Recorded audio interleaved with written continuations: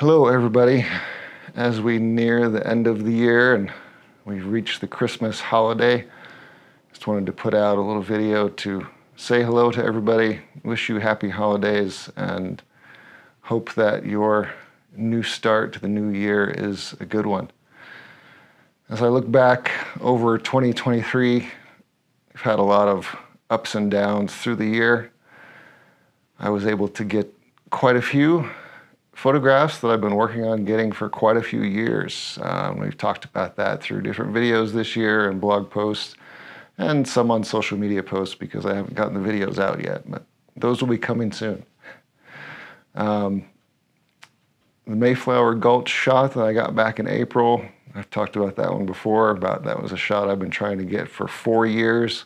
Took three different times out to do it, and it was one of the coldest nights out that I have ever experienced but I was finally able to get the shot that I've been trying to get. Uh, up at Mount Evans in September, which is now called Mount Blue Sky. But that's a shot that I'd had in my mind for a number of years, waiting for all the conditions to come together with a nice clear sky, a calm night at 12,800 feet at Summit Lake, which you just don't get very often, and a little bit of snow on the mountain peak to make it just that much more interesting. So that was probably one of the shots I'm most proud of for this year.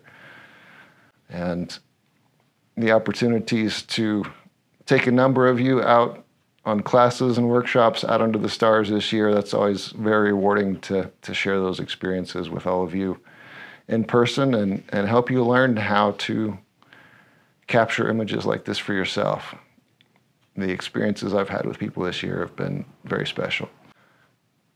I talked about some of the highs and successes for this year, some of the harder things, as some of you have, that have been following me for a while know, back in October I dislocated my shoulder, and that has made it tricky over these last couple of months to get stuff processed on the computer because that's really hard on my arm to get out and shoot because it's tricky to carry my gear.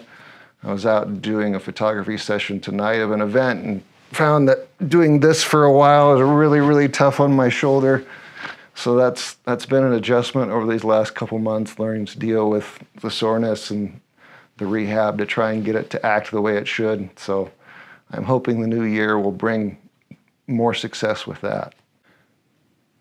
As I do at the end of every year, I do a top 10 countdown of my most popular photographs that I've shared on my social media accounts. We're in the midst of that, so watch for some of your favorites as they come up here at the end of the year.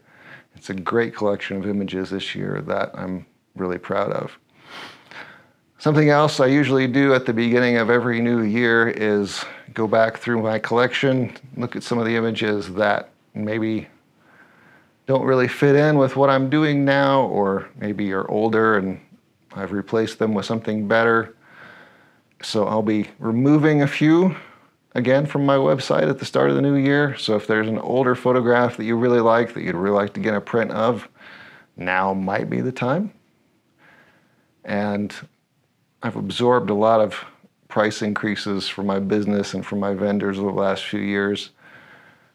Even though my margins ended up at the end of this year being a lot closer than they have been in years past, my sales were down a little bit as they were across a lot of businesses that I know of this year. So looking at some possible pricing adjustments to start the new year too. So if you've been thinking about purchasing something right here at the end of the year might be a great time.